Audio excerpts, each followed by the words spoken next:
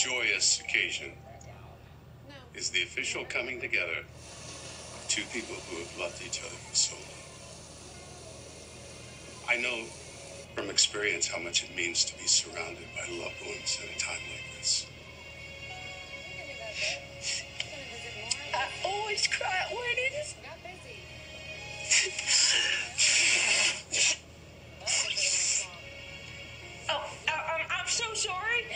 just to have allergies.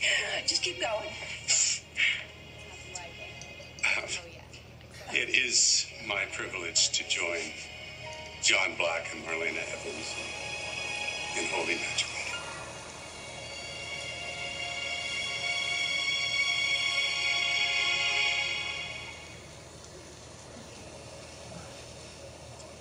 John and Marlena have asked Will Horton to speak first.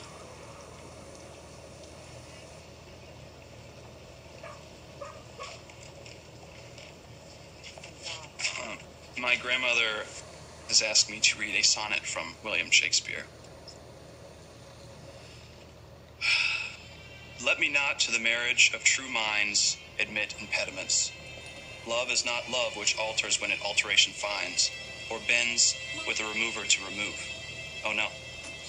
It is never fixed mark that looks on tempests and is never shaken. It is the star to every wandering bark whose worth's unknown, although his height be taken. Love's not time's fool, though rosy lips and cheeks within his bending sickle's compass come, but bears it out even to the edge of doom. If this be error and upon me proved, I never writ, nor no man ever loved. Um, so obviously, I am no Shakespeare, but I would also like to speak a little bit from the heart. Um, until very recently, I had little to no memory of, of any of you. Uh, I was told that you loved me and that I loved you. But I struggled with that, with trying to feel um, the love that I just didn't remember. But now I realize that love isn't tied to the past. Uh, for as long as as John and my grandmother loved each other, what we're celebrating here today isn't you know, the memory of that love. It's that it still exists and is still alive today um, and present.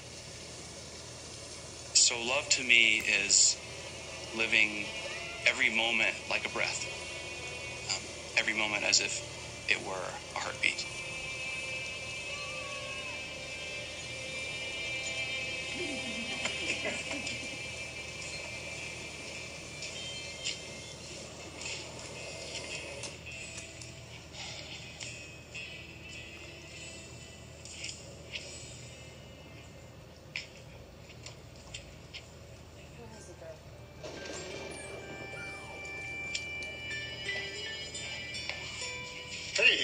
Sonny.